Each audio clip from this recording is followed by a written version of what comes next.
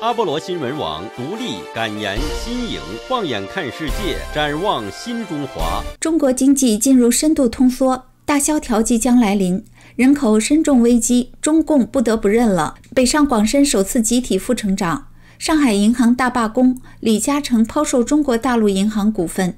欢迎收看阿波罗新闻网热点直击。今天是美国时间五月十四号星期天，亚洲时间星期一。请您订阅我们的频道，您的点赞、转发和留言会推动油管把这些视频推荐给大家。中国经济进入深度通缩，大萧条即将来临。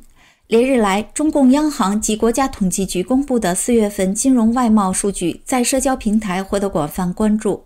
网友雷尼尔发帖说：“看了四月份的进出口数据，内需在急剧萎缩，四月出口贸易额环比下降百分之六。这个数据预示，由于出口结构的调整，就业压力会非常大。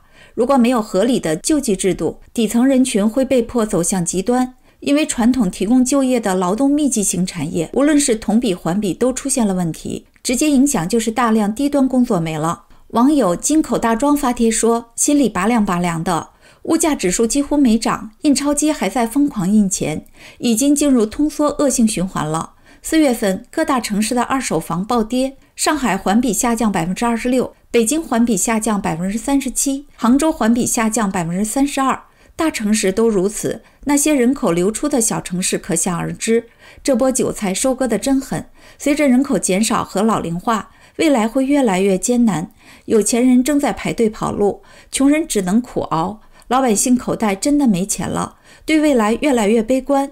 网友价值投资日志的微博发帖说：“中国眼下的经济形势，一句话就是通缩开始了，经济已经落入衰退现象。之前的十五个月高强度的货币信用投放，M2 投放增长到四十万亿以上，但是依然没有阻止经济滑向通缩。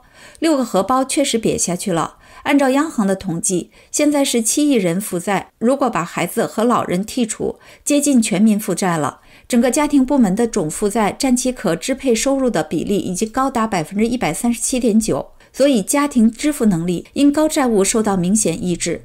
一篇题为《最大的问题是需求不足》的文章这样写道：“通缩来的速度远比我想象中快，说明大放水是无效的，需要赶紧发钱。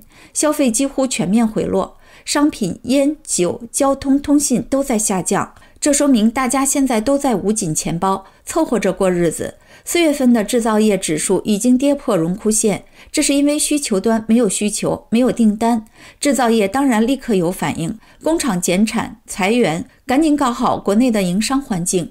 这不是地方政府加紧招商的问题，而是那些恢复供销社、鼓励青年下乡、退林还耕等吓人的蠢事要赶紧停下来。再有什么大学里搞举报啊，派遣留学生赴俄，中小学学俄语，这些让人看着就心慌的事儿，也要立马停止。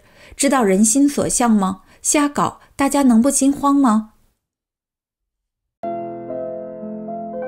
人口深重危机，中共不得不认了。北上广深首次集体负增长。中国媒体《每日财经》五月十四号引述各地统计局数据来源报道。截止二零二二年末，中国四座一线城市北京、上海、广州、深圳的人口统计集体负增长。北京人口减少四点三万人，上海人口减少十三点五四万人，广州常住人口减少七点六五万人，深圳则减少了一点九八万人。中国一线城市合计减少约超二十七点五万人。而广州、深圳不但在过去十年蝉联全国人口增量最高城市，当地也是观察中国经济活力以及劳动人口流动的重要指标热点。报道说，这两座城市的人口下滑似乎更具转折意味。阿波罗评论员王笃然表示，中共的数据水分极大。俄罗斯最惊人的分析，通过对食盐的数据推算出人口是八亿。中共到现在也不得不承认，北上广深首次集体负增长。二零二一年十二月，威斯康星大学麦迪逊分校高级科学家易富贤表示，他研究中国二零二零年人口是十二点八亿，中国的实际生育率也低于官方统计。人口自二零一八年以来一直在减少。具有公共卫生背景的旅美教育家陈彦玲说，二零二二年七月，上海公安局外泄中国人口九点七亿的数据。陈彦霖披露，曾经在往香港的飞机上碰到一个台商，对方在广东有一家规模比较大的工厂。SARS 期间，这位台商给员工们发钱，让他们回老家养好病再回来上班。过了几天，一个员工打电话向台商哭诉：“我回不了家，我到了老家找不到村子了，整个村子不存在了，人都消失了。”台商就收留了他，工人又回到广东打工了。SARS 期间人口真相也一定十分惊人。二零一九年末，四川巴中市通江县常住人口六十七点零六万，二零二零年十个月内人口减少十四点八七万，比例为百分之二十二点二。如果根据中国最新统计，全国人口十四点五亿人，按人口减少比例百分之二十二来推算，二零二零年中国人口减少三亿多。二零二三年一月，法轮功创始人李洪志大师开示。中国三年疫情死亡人数四亿多。上次 SARS 出现的时候，中国死了两亿人。多年后，中共发现人口减少了，马上放开二胎制、三胎制。教育家陈彦霖最后表示，当年中共销毁了大饥荒死亡数据和记录。经过海内外学者的严谨深入的研究，以及不断被披露的中共内部文件均显示，大饥荒或致超过四千万中国人非正常离世。